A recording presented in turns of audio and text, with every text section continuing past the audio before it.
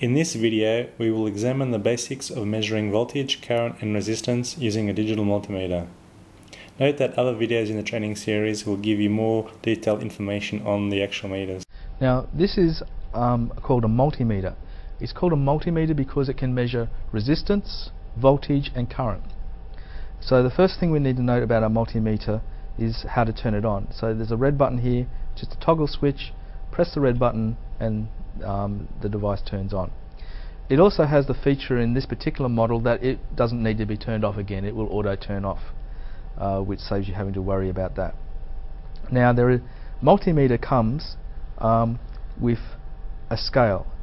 If we look up here we can see this ohm or omega symbol which stands for ohms. So the resistance scale goes from 200 ohms all the way up to 200 mega ohms. The M stands for mega. Um, we can go across here and we can look at um, amps.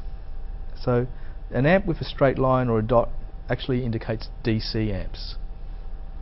So its scale is from on this particular machine a multimeter is from 2 milliamps all the way up to 20 amps um, DC if we want to measure AC amps we need to put it on the AC scale so we have amps AC and we have 20 amps down to um, 20 milliamps for this device.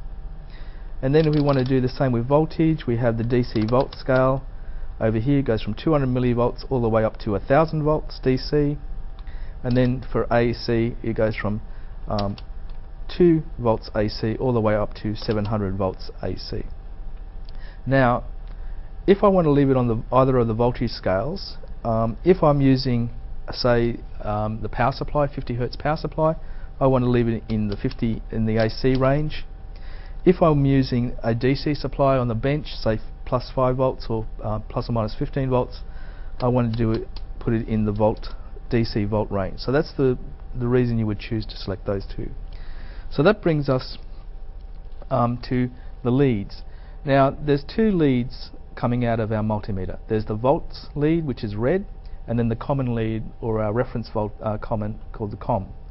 So normally we plug the black one uh, into the common and the red one into the ohms, volts, uh, hertz um, lead. Now if I've got it in either the voltage DC or voltage AC modes, I can now use this to measure the voltage across uh, our system. Again, make sure it's on. Um, it's actually in high voltage, so I'll just drop it down to 20 volts DC and say I've got a resistor here and I want to measure the voltage across that. And well let's just for the sake of argument assume that this is the higher potential and that's the lower potential and it's DC so say that's plus 5 volts and this is maybe pl plus 2 volts. So 2 volts is less than that. If I want to do a measurement across that resistance while it's actually in circuit situ I would put the positive uh, red lead uh, on the higher potential point and the black lead on the lower potential point in parallel and I would take a measurement.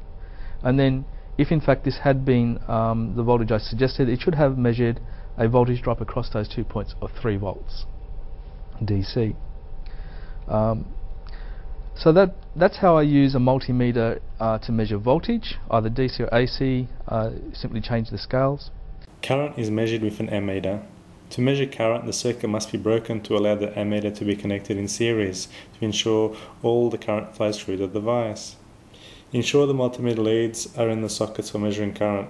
Note that there is more than one socket. As a result, you must be aware of the amount of current you are measuring.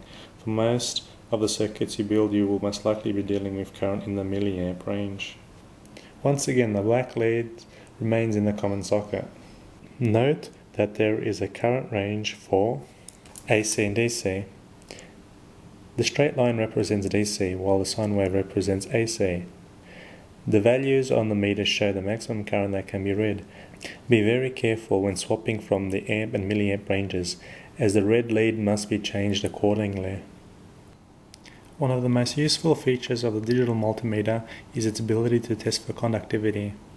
By setting up the multimeter as shown, you can determine if two points are connected to each other by listening for a beep. This is great for fault finding as you can easily check for wiring connection problems and breaks in your circuit.